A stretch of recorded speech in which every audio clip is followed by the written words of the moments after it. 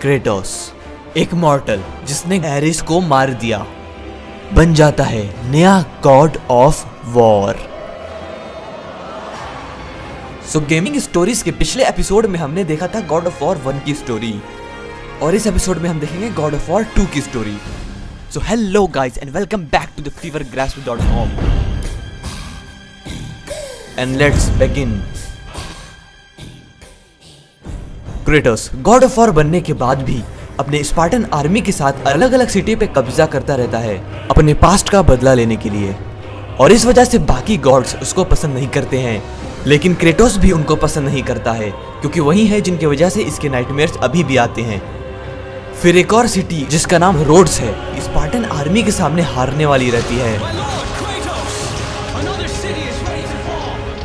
उस सिटी को पूरे तरीके से खत्म करने के लिए क्रेटस नीचे जाता है तभी अथीना उसे रोक लेती है और कहती है कि जैसे जैसे तुम इन शहरों को खत्म करते जा रहे हो बाकी गॉड्स तुम्हारे अगेंस्ट होते जा रहे हैं और अगर ऐसे ही चलता रहा तो इस बार मैं तुम्हें बचा नहीं पाऊँगी I need no protection.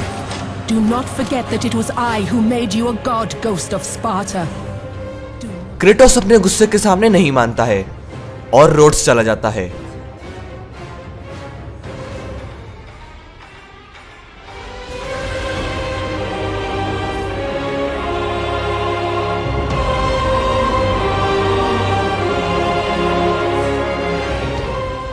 वहाँ पहुँचते ही वो अपने आर्मी का साथ देता है दूसरों को मार के। और तभी एक जाइंट ईगल उसकी सारी पावर्स छीन लेती है। और क्रेटोस को लगता है ये अथीना का काम है! और वही ईगल रोड्स के एक जाइंट क्लोसस को ज़िंदा कर देती है।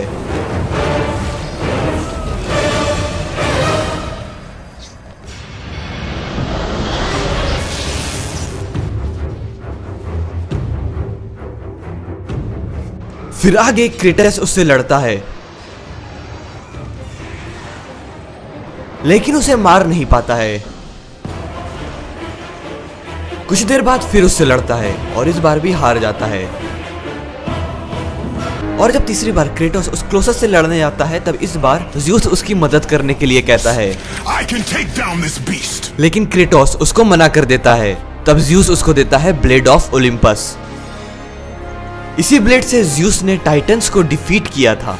लेकिन क्रेटोस इस ब्लेड को तभी निकाल सकता है जब वो अपनी सारी गॉडली पावर इस ब्लेड में डाल दे।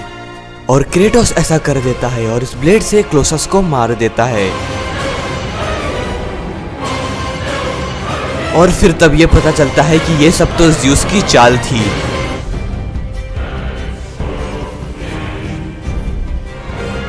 क्योंकि वो ईगल जिसने शुरू में क्रेटस की पावर ले ली थी और इस क्लोसस को ज़िंदा कर दिया था, वो ज्यूस ही रहता है।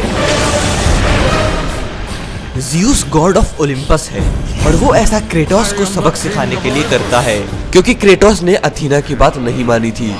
फिर ज्यूस क्रेटोस से कहता है कि आज से तुम मुझे सर्व करोगे, लेकिन क्रेटोस मना कर देता है क्योंकि उसने ऐसा कुछ पहले भी किया था और उसके बाद वो बहुत पछताया था। ज्यूस मार देता है क्रेटोस को अपने ही ब्लेड से। और क्रेटोस की पूरी स्पार्टन आर्मी को भी खत्म कर देता है।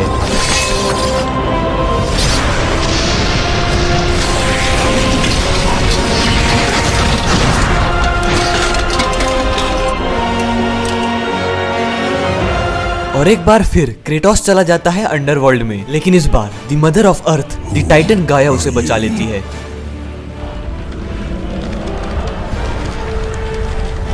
Am the Titan Gaia, ever present Mother Earth. और फिर वो क्रेटोस को मोटिवेट करती है कि एक ट्रू वॉरियर कभी हारता नहीं। तुम्हें यहाँ से बाहर निकलना होगा। और फिर वो उसे बताती है द सिस्टर ऑफ़ फेट्स के बारे में। और गाया कहती है कि इन्हीं की मदद से तुम जियोस को मार सकते हो। उस टाइम में वापस जाके जब वो तुम्हें मार रहा था गाया उसके जख्मों को हील कर देती है। क्रेटोस एक बार फिर वहाँ से बच निकलता है। और वहाँ से निकलने के बाद वो जियोस के पीछे ओलिम्पस निकल जाता है। Olympus, beast! I must face Zeus! फिर रास्ते में एक टाइटन प्रोमीथियस को जियोस के श्राप से मुक्त करने के बाद क्रेटोस को पावर ऑफ़ टाइटन मिल जाता है वहाँ से निकलने के बाद क्रेटोस चला जाता है आइलैंड ऑफ़ क्रिएशन पे जो घर है सिस्टर ऑफ़ एट्स का और उन्हीं की मदद से क्रेटोस उस टाइम पे वापस चला जाएगा जब ज्यूस ने उसको बेट्रेड किया था फिर वहाँ पे गाया क्रेटोस को बताती है कि टाइटन का गॉड था क्रोनस। और ज्यूस, इसी क्रोनस का बेटा था। क्रोनस को एक भविष्यवाणी का डर था कि उसी का बेटा उसको मारकर उसकी जगह ले लेगा। और इसी वजह से वो अपने सारे बेटों को अपने पेट में कैद कर लेता है। और ऐसा ही करने के लिए वो ज्यूस के पास आता है। लेकिन फिर रिया, जो क्रोनोस की वाइफ रहती है और गाया की बेटी रहती है, बचा लेती है अपने बेटे ज्यूस को, उसे एक ईगल के साथ भेज के। और फिर ज्यूस के जगह उसी के साइज़ के एक पत्थर को रख देती है। क्रोनोस आता है और उसे उठा लेता है। और फिर उस पत्थर को ज्यूस समझ के खा जाता है।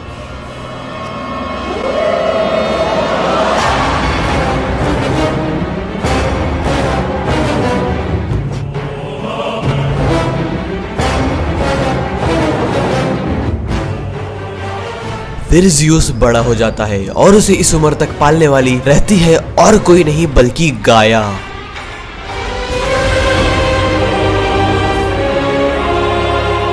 फिर रास्ते में क्रेटोस को मारता है।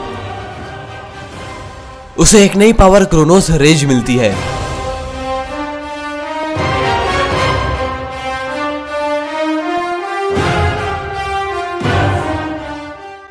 फिर जर्नी में आगे वो एटलस से मिलता है और फिर एटलस क्रेटोस से बताता है कि तुम्हें इस बार भी पूरी स्टोरी नहीं बताई गई है।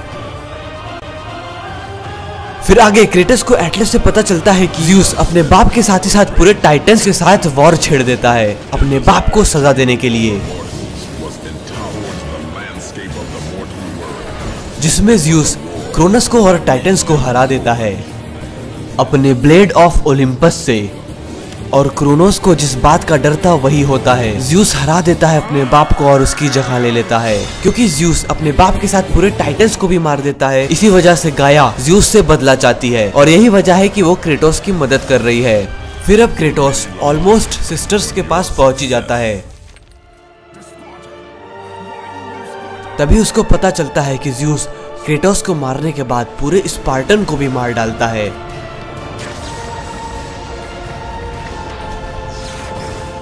और फिर फाइनली क्रेटोस पहुँच जाता है सिस्टर्स के पास। लेकिन सिस्टर्स उसकी मदद करने से मना कर देती हैं। और एक तो चाहती है कि क्रेटोस एरिस से भी ना जीते। इसीलिए वो उसे उस टाइम पे वापस ले जाती है जब क्रेटोस और एरिस की बैटल चल रही थी। उस स्वॉर्ड को डिस्ट्रॉय करने के लिए जिससे क्रेटोस ने एरिस को मारा था.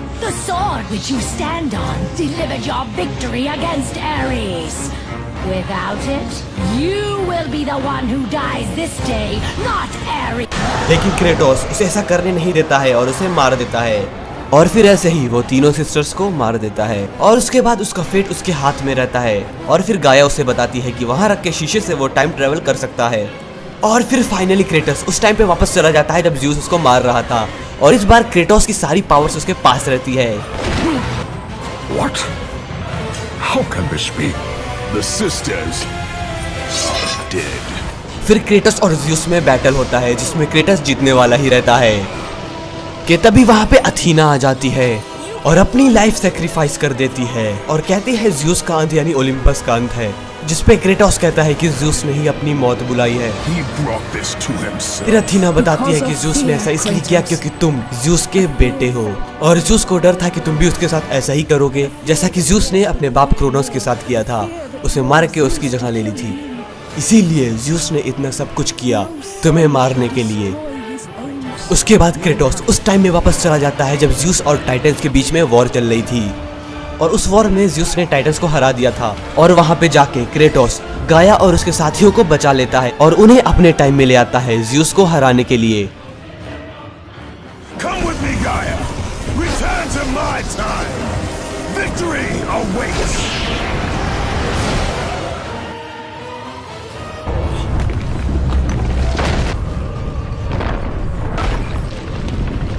और फिर फाइनल सीन में जब ज्यूस माउंट ओलिम्पस से नीचे देखता है तब क्रेटोस वहाँ पे पहुँच चुका रहता है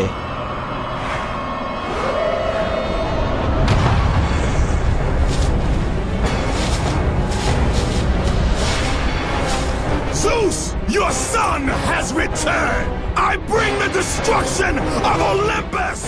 So I hope आपको ये गॉड फॉर टू की स्टोरी पसंद आई होगी अगर आई है तो इस वीडियो को लाइक करें शेयर करें इसे अपने गेमिंग बॉडी के साथ और नीचे कमेंट करके बताएँ इस गेम में आपका फेवरेट सीन कौन सा है। एंड फाइनली सपोर्ट करें फीवर ग्राफ्स को सब्सक्राइब करके।